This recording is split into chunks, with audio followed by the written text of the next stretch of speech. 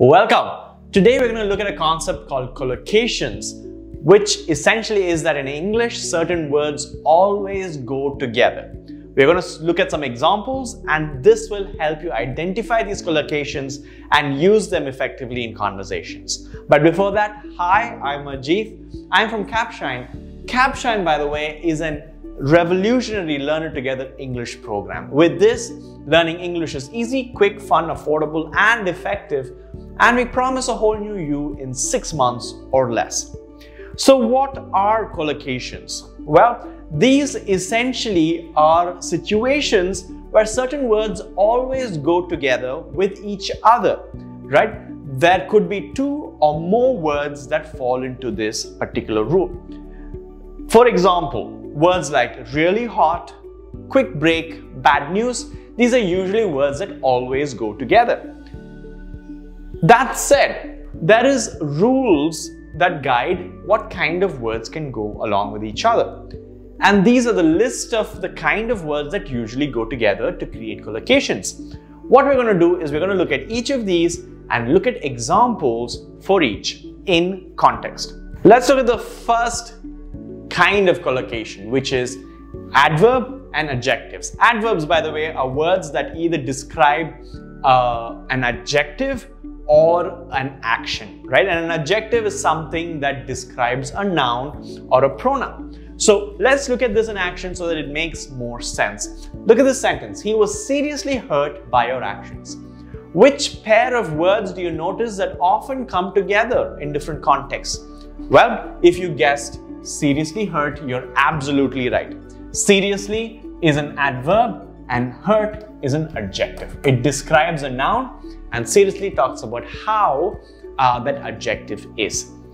This collocation is quite often found.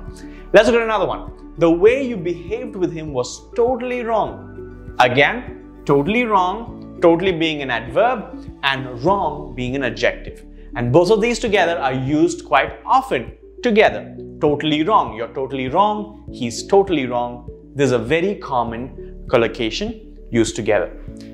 The dance performance was absolutely incredible. Absolutely incredible again is a very common collocation as well. Great, let's move on to the next type, which is adjective and noun. Remember an adjective is a word that describes a noun or a pronoun and a noun is usually a thing, a place or someone or something, right? All these are nouns. Let's look at an example.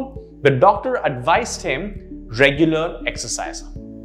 Can you spot the phrasing or the pair of words that are often that often come together? Well, if your answer is that, you're absolutely right. Regular exercise is a phrasing that is very common.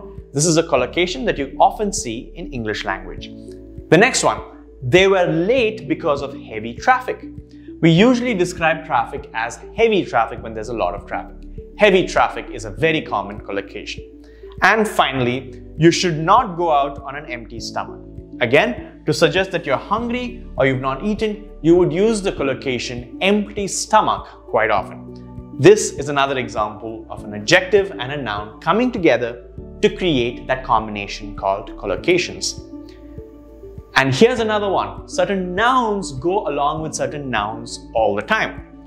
For instance, he received a round of applause for his inspiring speech. What do you think is the collocation here? Which is the pair that goes together? The answer is a round of applause. Both are nouns and usually when you talk about people cheering other people or applauding, it's called or the usage is a round of applause and there's an often used collocation. The next one, I found bars of soap made of rose petals.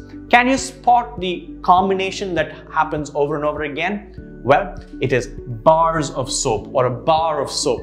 This is a very commonly used collocation when talking about soaps.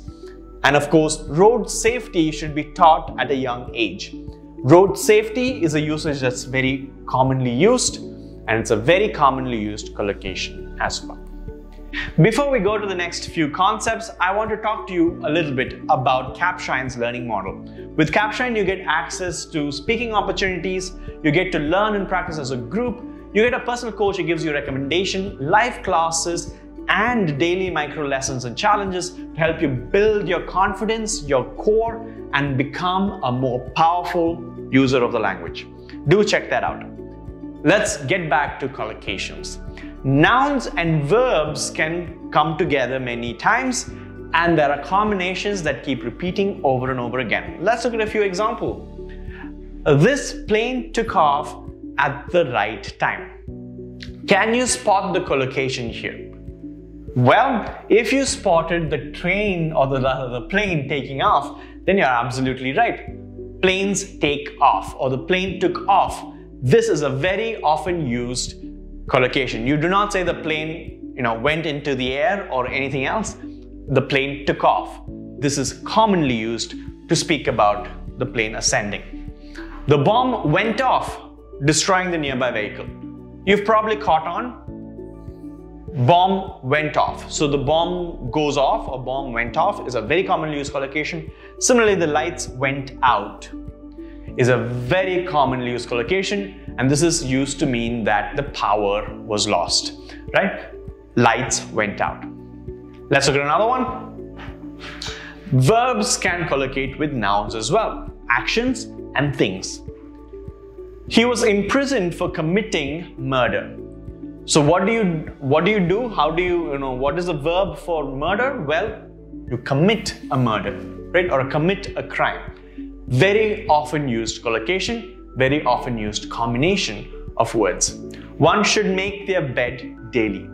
What do you do to your bed? You make it. Make your bed is a very commonly used collocation as well. And of course, it's your turn to do the dishes.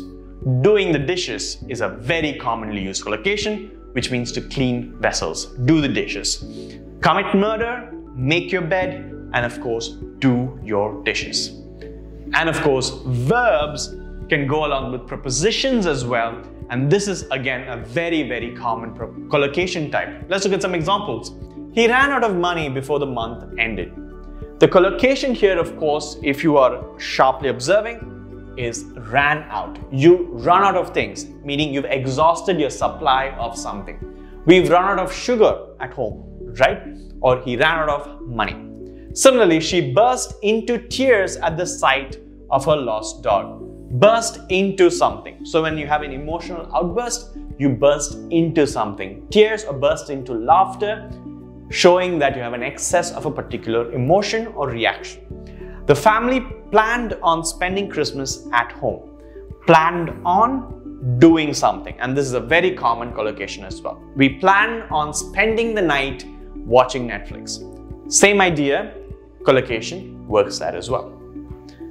Of course, verbs can also go with adverbs. We saw adverbs and adjectives going together, but verbs can go along with adjectives as well, and uh, or rather adverbs as well. For this, in this case, the boy whispered softly in the class. Can you spot the collocation, the pair of words that go together often? Well, whisper softly. And this is a very commonly used combination. Similarly, the crystal bowl was placed gently upon the table. Another common combination of words, placed gently. The dog ran swiftly to their owner. Again, run swiftly is a very commonly used collocation type. Great! I hope you found this video useful and you're able to spot collocations in use in different contexts in English.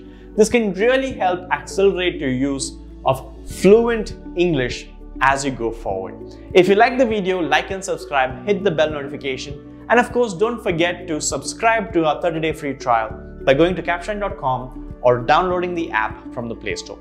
Thanks for watching.